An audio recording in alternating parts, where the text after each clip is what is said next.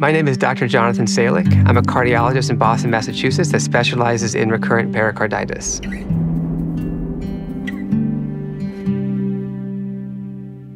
I think it's always important to talk to patients about what the pericardium is and how it can get damaged or diseased. The pericardium is a fibrous sac around the heart that the heart sits in, and the sac provides protection and lubrication for the heart. Like anything else in the body, it can get diseased, and the most common disease that affects the pericardium is called pericarditis, itis meaning inflammation.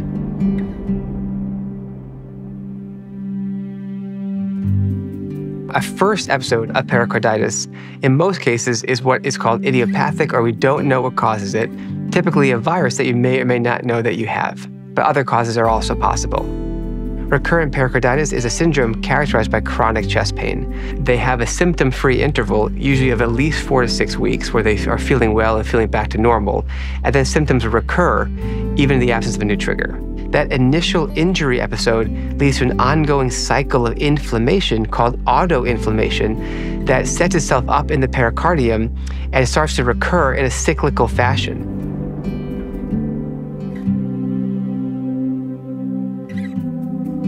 Every year, about 20,000 people in the United States are diagnosed with recurrent pericarditis. So while it is not a common disease, it is actually a lot more common than we think, and the number is probably growing. Research shows that the average patient with recurrent pericarditis might experience symptoms for three to four years.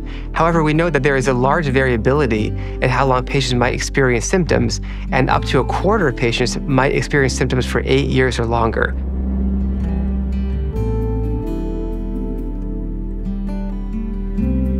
The most common symptom of pericarditis, whether it's an initial episode or recurrent episodes, is chest pain.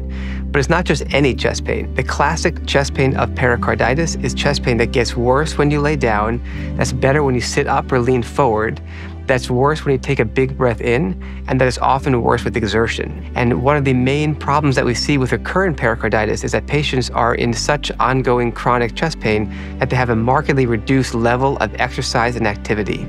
And so, aside from just having chest pain, patients with recurrent pericarditis might report lower levels of energy, lower ability to exercise, and a lot of ongoing anxiety and stress because they are quite concerned about developing the next flare or the next acute episode of pericarditis.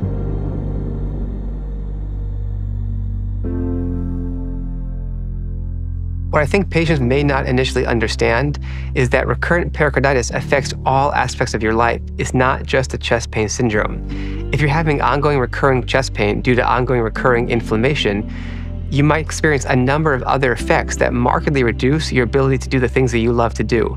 So, when I see patients with recurrent pericarditis, what they tell me in no unclear terms is that their life has been completely disrupted. Prior to their diagnosis, they were a healthy person. They were able to exercise, they were able to work, they were able to enjoy time with their family, they were able to live a worry free life. Once they develop recurrent pericarditis, patients experience high levels of fatigue and anxiety about the next episode. If you're always worried that the next episode is, is around the corner, it's very hard to live a worry free life. It's very hard to live a life where you feel like you can go to the gym, you can do things that you'd like to do, you can travel, you can spend time with your family and not worry about chest pain. So I tell patients, I understand why you're feeling the way you're feeling. It's because of your underlying disease process. And I want to work with you to make the diagnosis and to eventually find a treatment plan that works for you.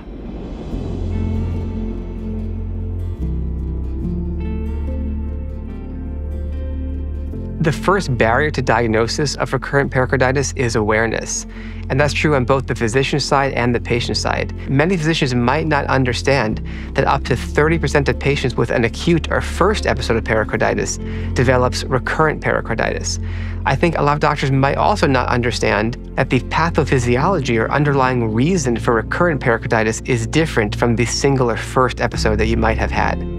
The patient's history is critical in making the proper diagnosis. Research shows that a patient with recurrent pericarditis receives on average of three other incorrect diagnoses before arriving at the proper diagnosis because it is often very difficult to diagnose the cause of ongoing chronic chest pain. Many things can cause chronic chest pain, including acid reflux, other cardiac conditions, things involving your lungs, your chest wall.